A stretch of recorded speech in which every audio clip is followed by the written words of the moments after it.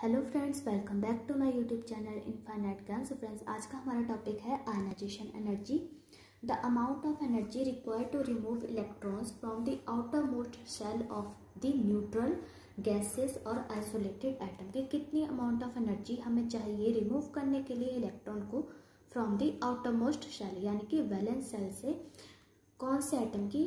वो न्यूट्रल होना चाहिए गैसेस होना चाहिए और आइसोलेटेड तो आइसोलेटेड मीन्स कि हमारा कॉम्बिनेशन नहीं होगा, एक ही एटम होगा सिंगल एटम होगा कॉम्बिनेशन नहीं होगा टू डिफरेंट का न्यूट्रल उसमें कोई चार्ज नहीं होना चाहिए प्लस वो गैसेस होना चाहिए। तो गैसेस एटम ही हमें आइसोलेट फॉर्म में मिलेंगे, ठीक है?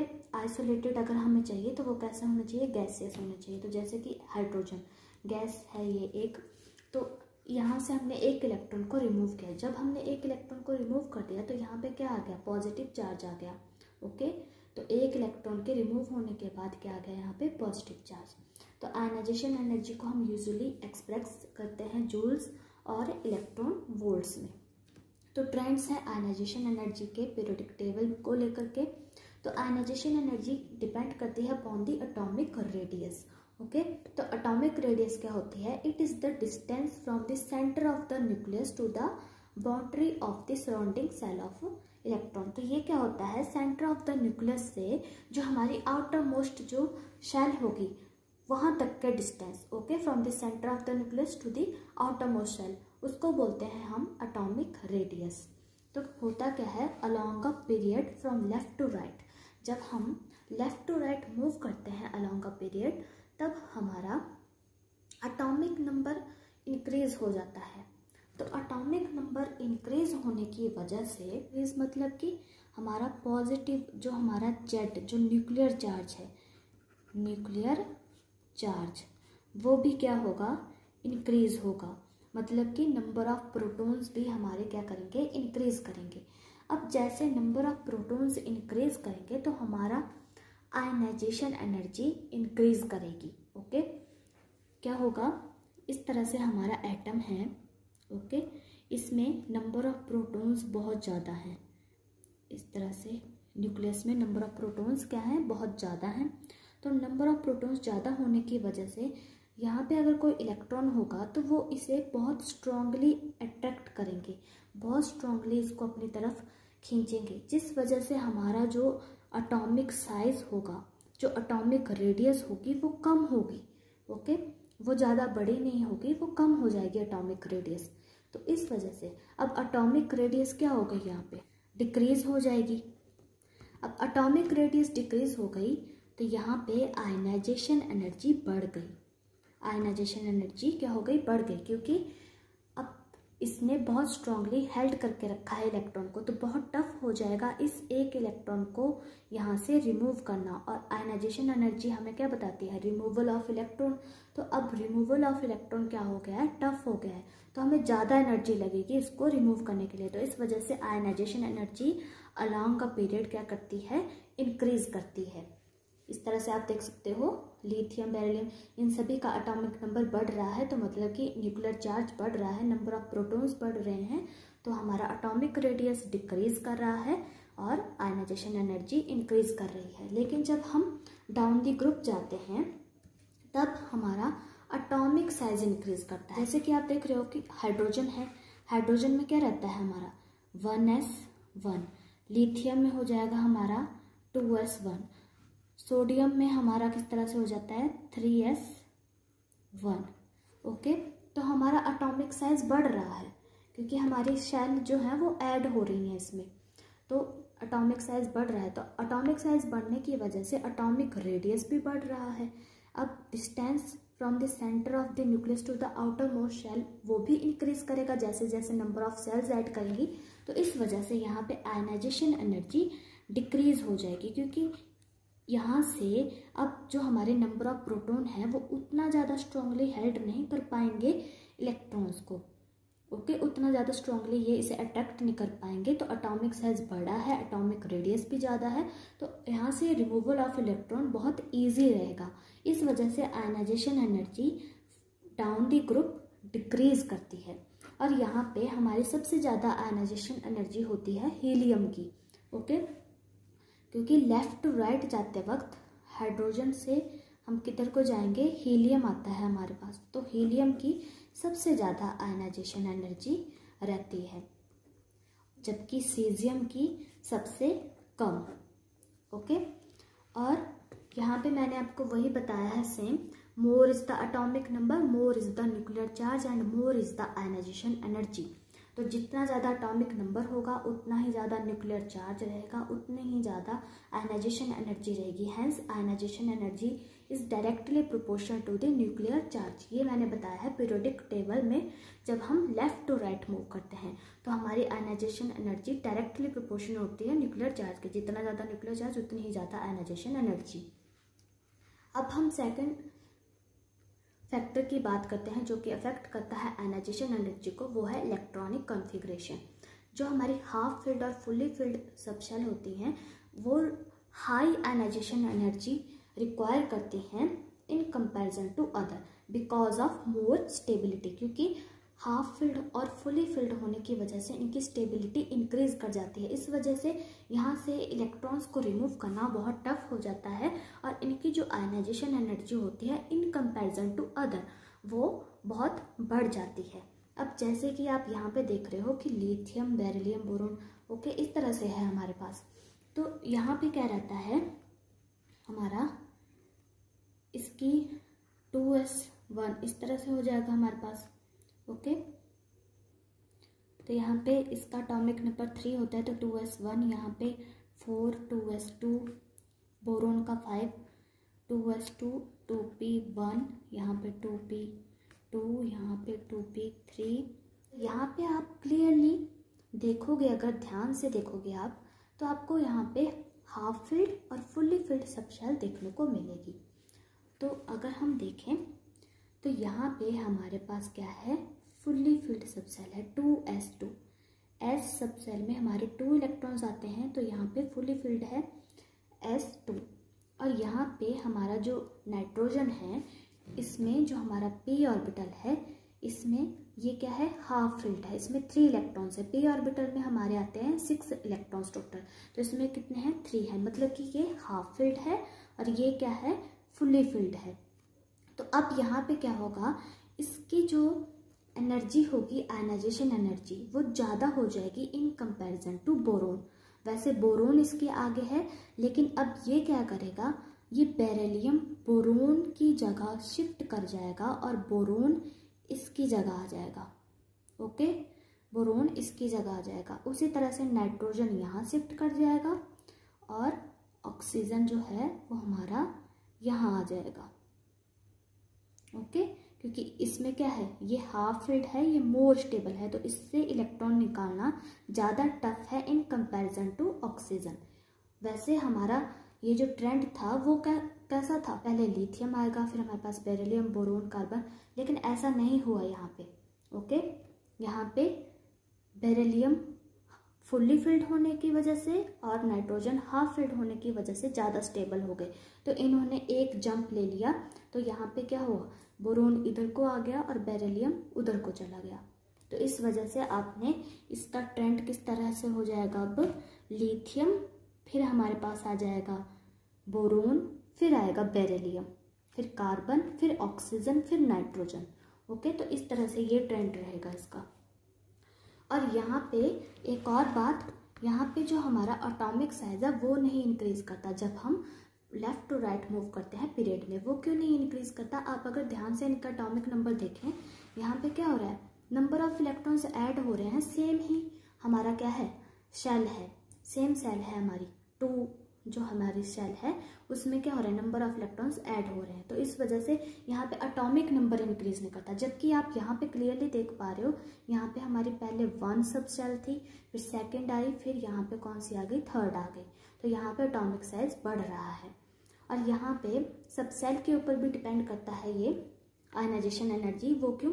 क्योंकि हमारा जो एस सब सेल है, इसकी सबसे ज़्यादा आयनाइजेशन एनर्जी होगी then p then d then f वो क्यों? क्योंकि हमारा जो सब सेल है एस वो क्या है? राउंडेड है कॉम्पैक्ट है। तो ये क्या करता है? पॉजिटिव चार्ज जो होगा इसके अंदर, उसको वो स्ट्रांगली हेल्ड करके रखेगा। ओके पॉजिटिव चार्ज अंदर बहुत स्ट्रांगली हेल्ड है। तो ये क्या करेंगे? बहुत कॉम्पैक्ट स्ट्रक्चर है पॉजिटिव चार्ज जो है वो इसके अंदर बहुत अच्छे से पैक हैं। तो वो क्या करेंगे? बहुत स्ट्रांगली अट्रैक्ट करेंगे इलेक्ट्रॉन्स को अपनी तरफ़। इस वजह से इसकी आयनाइजेशन एनर्जी बहुत ज़्यादा रहेगी। जबकि ये जो हमारा पी सब सेल है, इसकी डम्बल शेप होती है। डम्बल शेप होने की वजह से ये क्या है? डिस्पर्स्ड है। डिस्पर्स्ड स्ट्रक्चर है इसका। ओके डिस्पर्स्ड है ये पी ऑर्बिटल तो इस वजह से यहाँ पे क्या हो जाएगा अब? जो हमारा न्यूक्लियस होगा, वो उतने स्ट्रांगली अट्रैक्ट नहीं कर पाएगा इलेक्ट्रॉन को, क्योंकि इनका शेप बहुत बड़ी है। तो अब इलेक्ट्रॉन्स दूर दूर चले गए हैं। और यहाँ पे कॉम्पैक्ट होने की वजह से इससे थोड़ा करीब थे तो वो बहुत स्ट्रांगली उनको हेल्ड कर रहा था कॉम्पैक्ट स्ट्रक्चर था। अब और डी और एफ़ का तो और भी ज़्यादा बहुत ही कम आयनाइजेशन एनर्जी होती है in comparison to s s की बहुत ज़्यादा हो जाती है और डी और एफ़ की बहुत कम रहती है, क्योंकि डी और एफ़ के बहुत ही डिस्पर्स्ड स्ट्रक्चर है। एफ़ ऑर्बिटल का हमारा बहुत ज़्यादा डिफ्यूज स्ट्रक्चर होता है और इलेक्ट्रॉन्स जो हैं वो इलेक्ट्रॉन डेंसिटी भी कम रहती है। अब यहाँ पे ये कॉम्पैक्ट स्ट्रक्चर है, जैसे कि ये है हमारा कॉम्पैक्ट स्ट्रक्चर ओके? तो यहाँ पे इलेक्ट्रॉन इस तरह से हैं। तो इलेक्ट्रॉन्स की डेंसिटी यहाँ पे ज़्यादा है। अब अगर ये बहुत बड़ा होगा हमारा स्ट्रक्चर ओके तो इलेक्ट्रॉन इस तरह से डिस्पर्स होंगे तो इतना, उतना ज़्यादा ये क्या नहीं कर पाएँगे?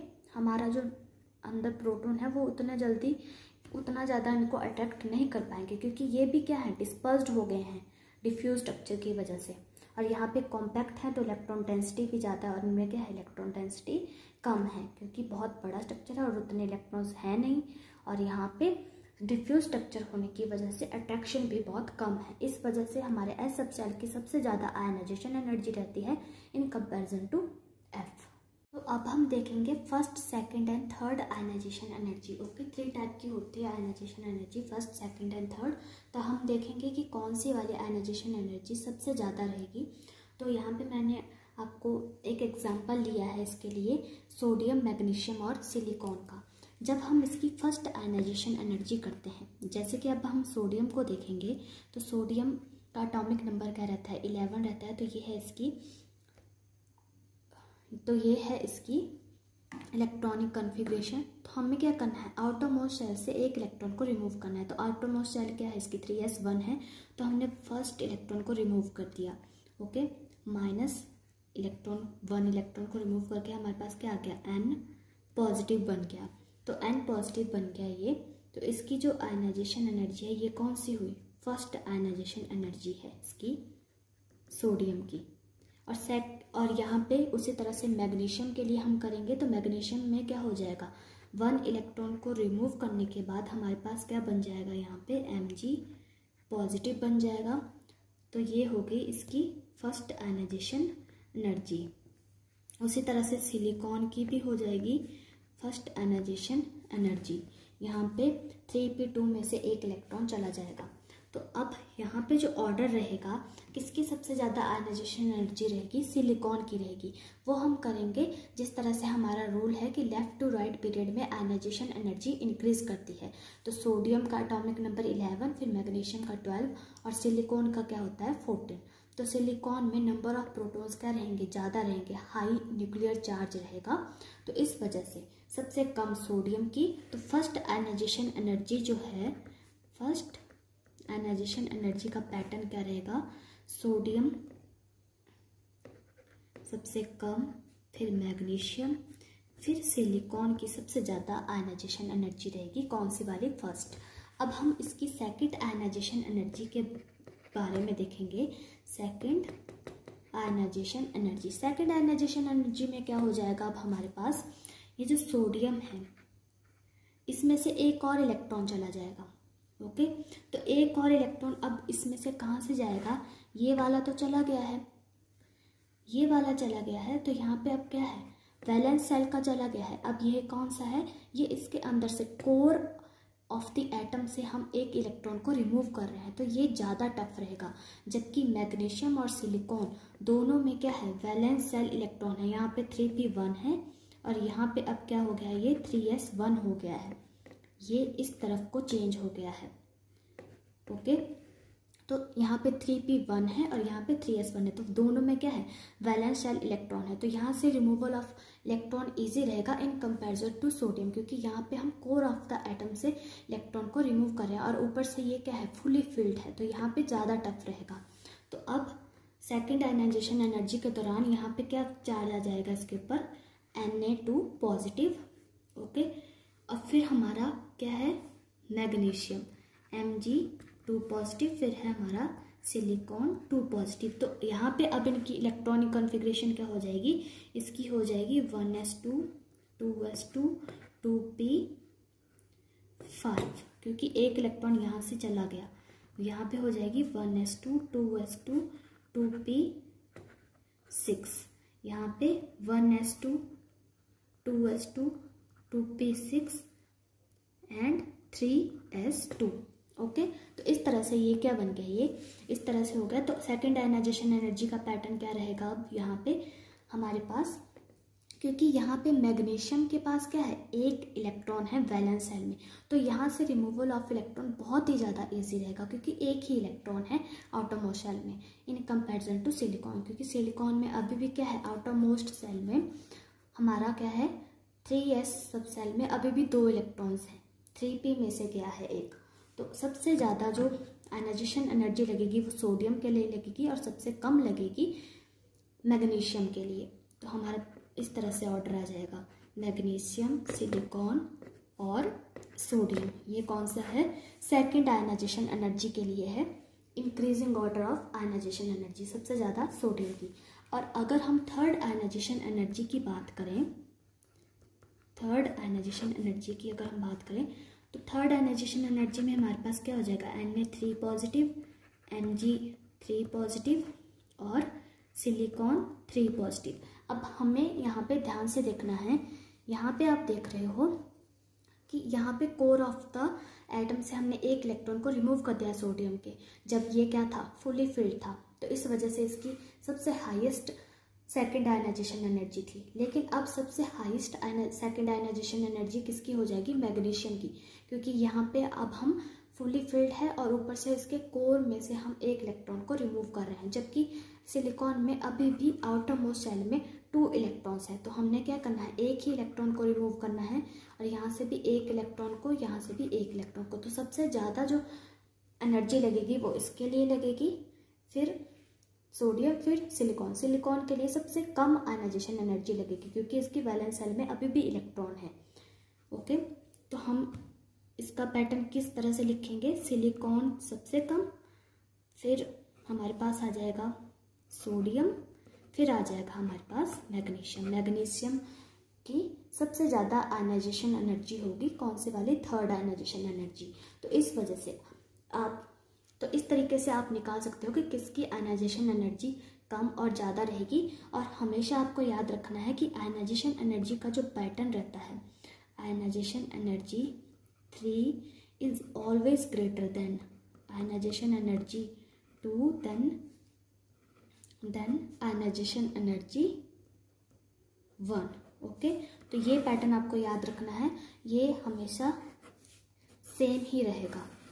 तो आयनाइजेशन एनर्जी जो हमारी थर्ड रहती है, वो सबसे ज़्यादा रहती है हमेशा। यहाँ पे मैंने आपको दो क्वेश्चन दिए हैं सॉल्व करने के लिए। आपको बताना है इनकी आयनाइजेशन एनर्जी को ओके तो फ़र्स्ट क्वेश्चन है हमारा by looking at following electronic configuration of elements can you predict which element has the lowest first ionisation energy अभी हमने पढ़ा फ़र्स्ट सेकेंड और थर्ड आयनाइजेशन एनर्जी को। तो आप इनमें से बता सकते हैं कि किसकी सबसे कम फ़र्स्ट आयनाइजेशन एनर्जी है, फ़र्स्ट आयनाइजेशन एनर्जी की बात हो रही है, ओके? तो आपको सिर्फ़ इलेक्ट्रॉनिक कन्फिग्रेशन को देख के बताना तो ये बहुत इजी रहेगा आपके लिए। और अगर हम सेकंड क्वेश्चन की बात करें तो यहाँ पे बताया गया है, ionisation energy when supply to an atom results in an तो आयनाइजेशन एनर्जी क्या करती है? जब उसको हम एक एटम पे सप्लाई करते हैं तो ये क्या हमें एनाइन और एक प्रोटोन प्रोवाइड करती है, या कैटाइन और प्रोटोन और क्या कैटाइन और इलेक्ट्रॉन या फिर एनाइन और इलेक्ट्रॉन प्रोवाइड करती है। तो ये आपको आंसर करना है और कमेंट बॉक्स में आपको बताना है इसका आंसर क्वेश्चन नंबर वन और टू का। जिसका सही रहेगा वो हम अपनी नेक्स्ट वीडियो में डिस्कस करेंगे ओके तो आई होप आपको जैसे समझ में आया हो व्हाट इज़ आयनाइजेशन एनर्जी इसकी एक्सेप्शन रह गई है। ग्रुप के अकॉर्डिंगली वो हम अपने नेक्स्ट वीडियो में डिस्कस करेंगे। Till then guys take care goodbye